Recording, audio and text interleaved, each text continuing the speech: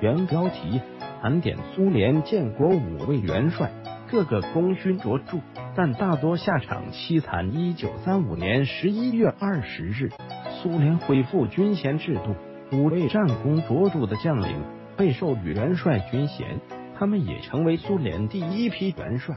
他们分别是弗罗西洛夫（前排左二）、布柳赫尔（后排左二）、图哈切夫斯基（前排左一）、布琼尼（后排左一）、叶格罗夫（前排左三）。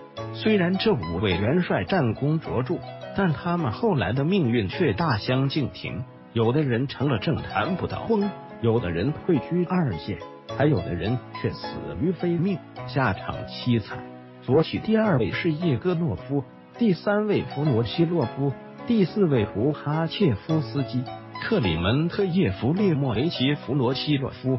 弗罗西洛夫是一位颇具争议的人物，不可否认他战功卓著，但是在一九三六年到一九三八年运动中，他积极协助斯大林处置苏军高级将领，因此饱受争议。二战爆发后。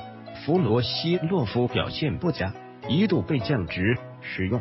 二战后，他的仕途很顺利，一度担任苏联最高苏维埃主席团主席。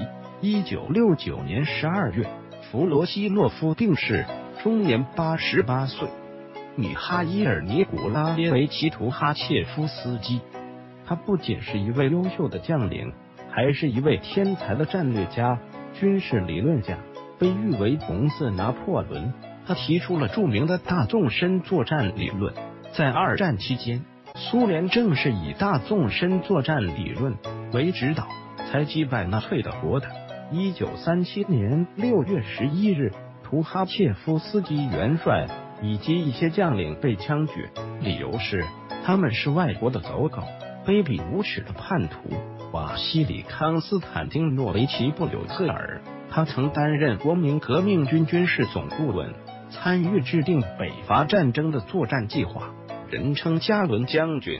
一九三八年的张古峰战役，他率领远东红军挫败日本侵略军，这也成为他人生最后一战。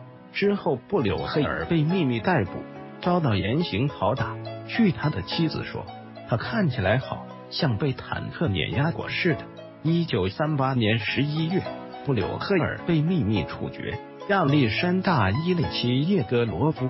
一九三九年二月，苏联内务部门来到叶戈罗夫的办公室，准备对其进行逮捕。叶戈罗夫明白此去必死无疑，但他不想死的那么窝囊。叶戈罗夫于是掏出手枪，与苏联内务部门的工作人员发生冲突。在枪战过程中，他打死一名特工后。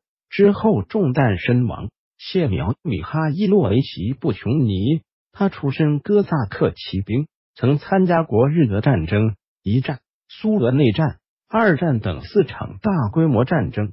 布琼尼率领的骑兵作战勇敢，是战场的一柄利刃。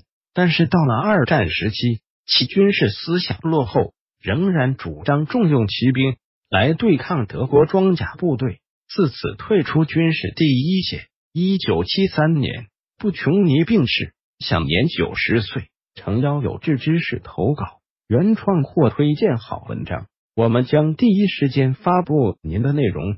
邮箱：幺零七零零零七零幺艾特 QQ 点 com。声明：本文来源于网络，版权归原作者所有，如有侵权，请告知删除。我们对文中观点保持中立，仅供参考。文中图片均来源于网络，返回搜狐查看更多责任编辑。